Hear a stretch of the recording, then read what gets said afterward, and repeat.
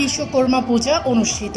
নরসিংদী জেলার রায়পুরা থানার করিতলা গ্রামে তিন দিনব্যাপী বিশ্বকর্মা পূজা অনুষ্ঠিত হয়।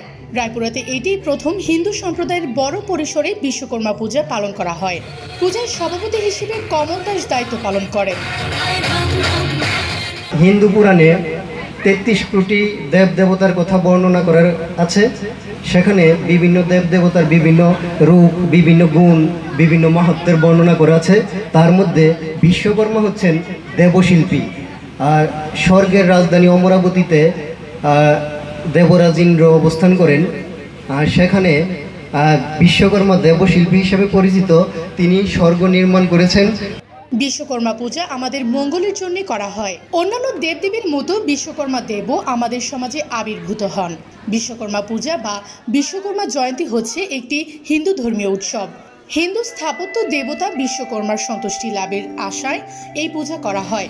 তাকে স্বয়ংভূ এবং বিশ্বের স্রষ্টা হিসেবে বিবেচনা করা হয়।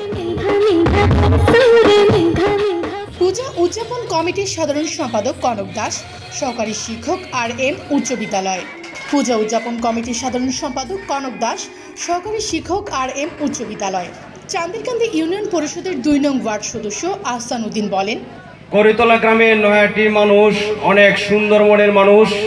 তারা আনন্দ, উল্লাস পছন্দ করে এবং যে কোনো ধর্মীয় ব্যাপারে তারা এগিয়ে থাকে। আমি আমি তাদেরকে অনেক পছন্দ করি।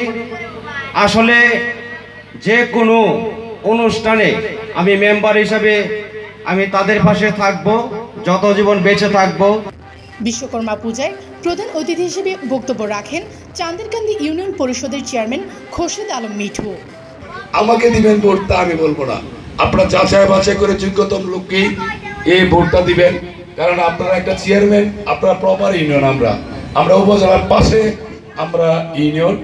এখানে কিন্তু ভালো মেধা এবং ভালো যোগ্য লোক যদি দেন, ইউনিয়নের ইজ্জত বাড়ে, চেয়ারম্যানের মাধ্যমে কিন্তু ইউনিয়নের ইজ্জত বাড়ে। এছাড়াও পূজা উদযাপন কমিটির দায়িত্বে ছিলেন হেমন্ত প্রামাণিক, পরিমল বিশ্বাস মানিকচাঁদ বিশ্বাস, বীরেন্দ্র প্রামাণিক, মিন্টু প্রামাণিক, জীবন প্রামাণিক ও জয়গোপাল দাস প্রমুখ। এছাড়াও পূজার প্রথম দিনে নাচ গানের আয়োজন করা হয়। রিপোর্ট ও চিত্রগ্রহণ মোহাম্মদ রোমান পথিক রায়পুরের প্রতিনিধি নাওসিন্দি টিভি।